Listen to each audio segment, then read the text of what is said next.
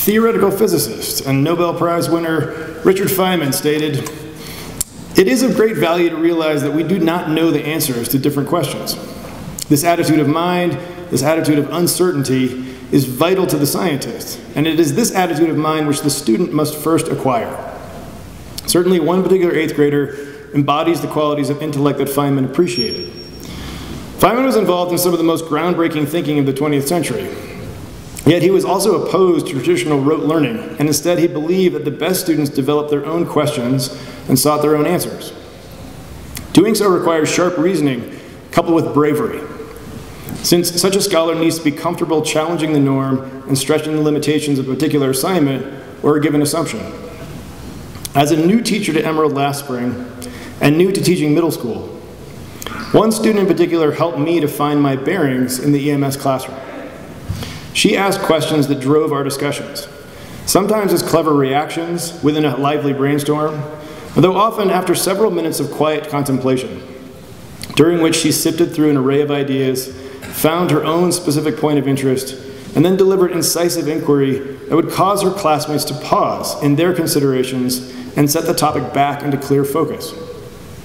She has an exceptional mind, and she complements her stark intellect with honest and empathic consideration for the viewpoints of others. Last spring, therefore, I increasingly designed my lessons with her in mind, knowing that if I asked the sorts of questions that would spur her curiosity, she, in turn, would inspire her peers with questions of her own, questions that sought deep meaning. This year, I've been all the more impressed to see her quiet confidence develop further and her sense of humor emerge, as she has cultivated her relationships with her peers while sustaining academic excellence. In fact, some of her best thinking this year came from what she knew immediately and better than anyone else, including me. Renowned thinker and author Malcolm Gladwell states Truly successful decision making relies on a balance between deliberate and instinctive thinking. While her various academic achievements reveal her outstanding deliberate thinking, which is informed by her careful attention to analysis, she likewise proved herself adept at instinctive thinking, relying on her intuition to manage her own stress levels. For a few days in early March, I was flummoxed when she opted not to try out for a speaking part in Tempest. My reaction came from my deliberate concern. It seemed out of character. I figured something was wrong, that perhaps she was, for once, losing interest. In part, at least, my concern really was for myself, since I simply wanted to see her on stage. As it turned out, however, and even before her injury a few days later, instinctively she knew what she already what was already overbooked, that she was already overbooked rather, that her extracurriculars were too important to add further burden, and that she wouldn't be able to offer the time needed to learn the part up to the quality of her own high standards. Her decision did not come from a place of fear, nor of analysis, nor did she bend to my provocation. She decided from her gut. She was confident in her choice, and she was correct. While she remained steadfast in completing outstanding work, she calmly and instinctively looked out for her own health, her own perspective, her own integrity. Carrie recently stated the following I would like to offer a quote about her that is not in my own words, but by a figure from history with whom I see her having many similarities. Simplicity is the ultimate sophistication. Leonardo da Vinci. Carrie added, I think Da Vinci's quote reflects her artistic style, creativity, and overall views on life. Our world is so complicated and busy, it needs more of the wonderful calm of people like her. In hearkening Carrie's perspective, I realized that this spring, and for reasons different than, but no less important than those a year ago, this eighth grader again helped me to find my bearings. She reminded me that amid the intensity of intellectual pursuit and academic rigor, sometimes it's best to ease up on the accelerator for a few minutes and appreciate the view. I know that she'll continue to excel throughout her academic life, and that she'll feed her insatiable curiosity beyond the classroom.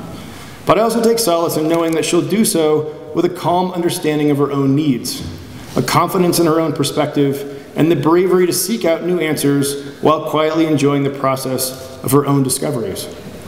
She has been inspirational for me, and I wish her all the success ahead. Greta Schmitz.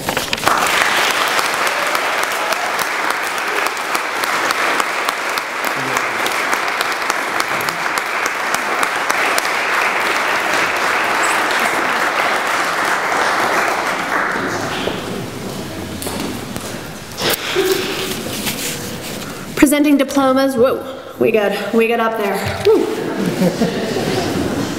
Presenting diplomas this morning will be Jeremy Bailing, the chair of our Board of Trustees. Um, Before I begin calling graduates' names, I just want parents to know, um, please feel free to come on up here, come on up here and take a photo um, of your child. We also have this um, on film, but please feel free to come on up here and take a photo. We'll start with Bridger A. Carlton.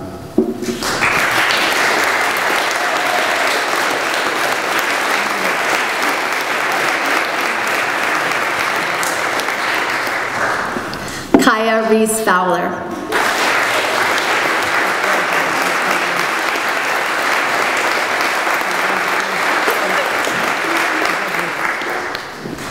Josephina Lee Hermasinski.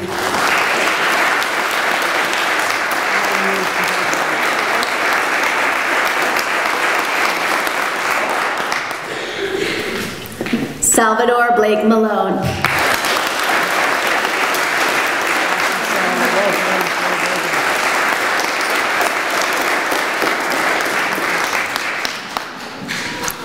Avery Blair Moyer.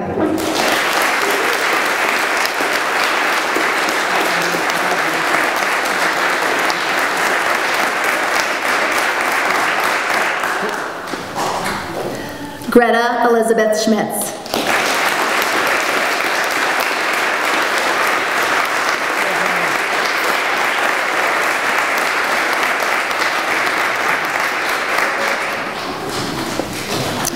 I want to thank everyone for- who came here today to help us celebrate this rite of passage for our graduates.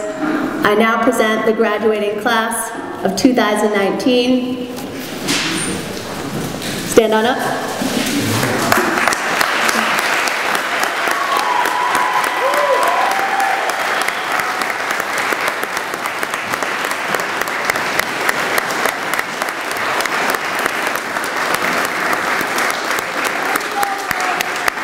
They are going to recess into the fellowship hall, and then I invite you to join us for a. oh, is there a, is there something going on? I want to say a huge thank you to Samantha and Debbie Mary for everything they've done for this school. It really means a lot to us. Um, these flowers are for you to think about us, and that bottle of wine over there is for when you don't want to.